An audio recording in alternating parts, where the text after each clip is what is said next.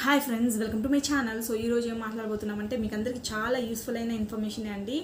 చాలా మందికి వచ్చేసి ప్రెగ్నెన్సీ టైంలో స్టెప్స్ ఎక్కొచ్చా అనేసి చాలా డౌట్స్ ఉంటుందన్నమాట. సో ఇది వచ్చేసి ఎవరు స్టెప్స్ ఎక్కొచ్చు ఏ మంత్లో నుంచి స్టెప్స్ ఎక్కి ఎక్కి దిగొచ్చు అనేసి. సో ఇది వచ్చి నా పర్సనల్ ఎక్స్పీరియన్స్ని మీతో షేర్ చేసుకుంటాను అనమాట తర్వాత మా నా ఫ్రెండ్స్ మా సిస్టర్ మా కజిన్ అంతా ఎక్స్పీరియన్స్ నాకు మా నాకేం చెప్పినారు. సో దాన్ని వచ్చి నేను మీకు షేర్ చేసుకుంటున్నాను అనమాట సో ఖచ్చితంగా ఇది మీకు చాలా యూస్ఫుల్గా ఉంటుంది అనుకుంటాను. మీకు కనుక నా వీడియో నచ్చినట్లయితే ప్లీజ్ సబ్స్క్రైబ్ చేసుకోండి సో దట్ నేను పెట్టే ప్రతి ఒక్క వీడియో మీకు వచ్చి నోటిఫికేషన్కి వస్తుంది. ఎప్పుడు కానీ ప్రెగ్నెన్సీ ఫస్ట్ ప్రెగ్నెన్సీలో మనము స్టార్టింగ్ మంత్ నుంచి స్టెప్స్ ఎక్కడం చాలా వరకు అవాయిడ్ చేయాలి. బికాజ్ ఎందుకంటే మనకు వచ్చేసి um, చాలా మందికి గర్ గర్భసంచి అనేది చాలా వీక్గా ఉంటుంది.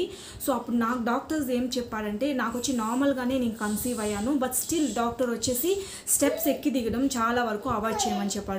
సో ఎందుకని అడిగితే అప్పుడు వచ్చి డాక్టర్ చెప్పారు మనకి ఇన్ కేస్ మనం ఎక్కి దిగడం వల్ల మనకు గర్భం గర్భం అనేది మిస్కరేజ్ చేయడానికి చాలా ఛాన్సెస్ ఉంది. సో అందుకే అప్ టు ఫైవ్ మంత్స్ వరకు నార్మల్గా మనము కన్సీవ్ అయినా కూడా అప్ టు ఫైవ్ మంత్స్ వరకు స్టెప్స్ ఎక్కి దిగడం వచ్చి చాలా చాలా తక్కువగా చేయాలన్నమాట.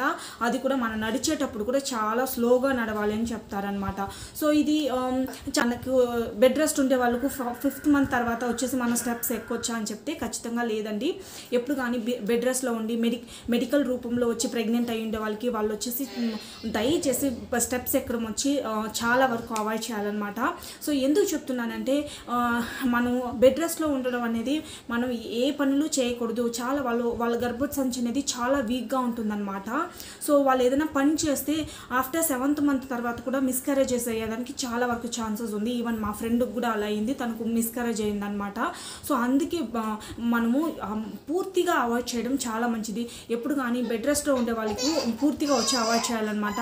ఎప్పుడు కానీ ఈ ఫాస్ట్గా నడవడం కానీ లేకపోతే స్టెప్స్ ఎక్కువ ఫాస్ట్గా ఎక్కడం కానీ అలాంటివంతా um, డెలివరీ వరకు అవాయిడ్ చేస్తే బికాజ్ మనకు బెడ్ రెస్ట్లో ఉండమని చెప్పేదానికి. ఎందుకంటే మనం చిన్న చిన్న పనులు కూడా చాలా జాగ్రత్తగా చేయాలన్నమాట బెడ్ రెస్ట్లో ఉండే వాళ్ళు ఫుడ్ తీసుకోవడం కానీ తర్వాత వచ్చేసి మనం నడవడం కానీ తరలతో మనం ఏదైనా మనం చేసే పనులు కానీ ప్రతి ఒక్కటి ఈవెన్ మనము రెస్ట్ రూమ్ నార్మల్గా రెస్ట్ రూమ్ పోతాం కదా దాన్ని కూడా ఎక్స్ప్లెయిన్ చేస్తారనమాట ఎందుకంటే ఈవెన్ నార్మల్గా కన్సీవ్ అయ్యే వాళ్ళు కూడా నార్మల్ టాయిలెట్ ఎక్కువగా యూస్ చేయొద్దండి. తర్వాత ఫిఫ్త్ మంత్ తర్వాత యూస్ చేయొచ్చు అనమాట బికాజ్ ఇన్ కేస్ మనం ఇలా కూర్చొని లేసుకోవడం వల్ల మనం ప్రెషర్ పట్టి ఎక్కడ లే లేవడం వల్ల మనకు వచ్చేసి ప్రెషర్ ఎక్కువ అయితే మిస్కరేజ్ అయ్యడానికి ఛాన్సెస్ ఉందనేసి సో దయచేసి మీరు వచ్చేసి బెడ్ రెస్ట్లో ఉండే వాళ్ళకి టిల్ డెలివరీ వరకు అవాయిడ్ చేయడం చాలా మంచిది. బికాజ్ ల్యాక్స్ రూపీస్ వచ్చి స్పెండ్ చేస్తారనమాట ఇన్ కేస్ బేబీస్ కానీ బేబీ కోసం ఎంతమంది ఎంతంత డబ్బులు స్పెండ్ చేస్తారు కదా. సో అందుకే మనము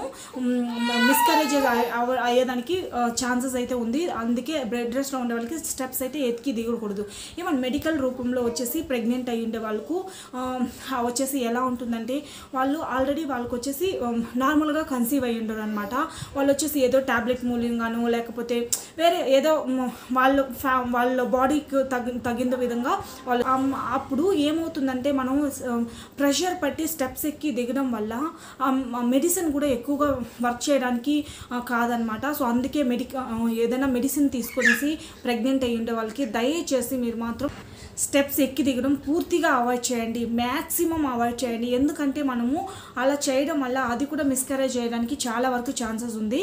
తర్వాత నార్మల్గా మనం కన్సీవ్ అయ్యి ఉంటాం కదా నార్మల్ డెలివరీ అయ్యేదానికి అంటే మా అమ్మ కూడా చెప్పేదనమాట మనం ఎక్కువగా ఎక్కువసేపు చాలామందికి ఎక్సర్సైజ్ అంతా చేస్తారు నార్మల్ డెలివరీ అయ్యేదానికి. మనం ఏమి చేయ చేయాల్సిన అవసరం లేదండి స్టెప్స్ ఎక్కి దిగితే చాలు. ఎందుకంటే అప్పుడు మన మజిల్స్ థైజ్ అంతా వచ్చి లూజ్ పడుతుందన్నమాట. సో అప్పుడు వచ్చి చాలా చాలా నార్మల్ డెలివరీకి చాలా బెనిఫిట్ ఉంటుంది.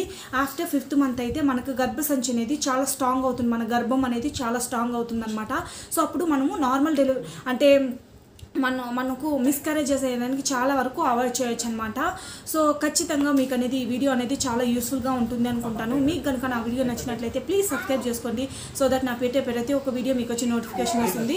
Thank you so much bye from Maheshwari